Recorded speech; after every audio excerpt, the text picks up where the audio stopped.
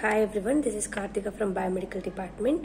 Today we are going to discuss about applications of radiation in medicine using extremely powerful ionizing radiation to treat cancer and other disorders. Densely ionizing particles such as neutrons, protons, mesons, alpha particles and heavy ions it have been employed more and more to treat cancer and other lesions in addition to X-ray and gamma rays. These high LET radiations have potential advantages over conventional X and gamma rays in, in that they have a greater dose capacity to, to damage tumors, particularly deep-seated ones and it can be applied more precisely to the lesion under treatment causing less injury to the surrounding tissue.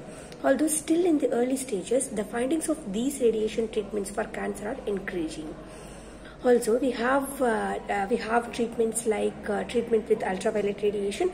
When diagnosing some conditions such as some kind of uh, disorders like uh, tumors and uh, some kind of uh, disorders uh, like fungal diseases, uh, skin illness and luminous materials. It can be found using ultraviolet radiation often known as Wood's light. It is also frequently used to treat psoriasis in conjunction with a radiosensitizing drug. This method referred to as PUVA, PUA therapy, repeatedly exposes the skin surface to the ultraviolet light. And in phototherapy, jaundice is a condition that affects infants and it is marked by an increase in the blood concentration of the pigment bilirubin during the first few days of life. The affected infant is exposed to the visible light for 12 to 24 hours in order to treat the disease because the wavelengths of uh, 420 to 480 nanometers that are absorbed in the skin speed up uh, detoxification and elimination of the pigment.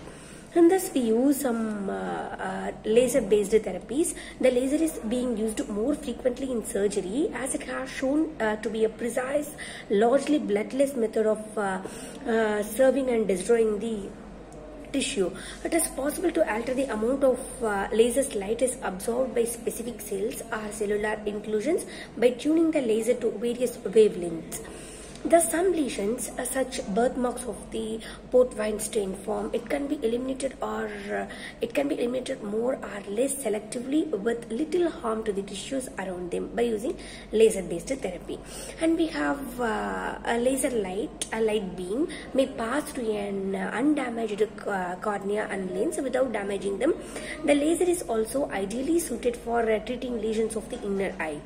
Additionally, lesions inside blood arteries and in other places where a traditional surgical intervention is not easily accessible are treated with the lasers and optical fibers. During this operation, uh, uh, we use uh, to implant a fiber optic probe into a vessel or uh, bodily cavity uh, for uh, laser-based treatments. And also we have diathermy, deep-seated inflammations and a variety of other conditions have long been treated using microwave radiation radiation by warming inside body tissues.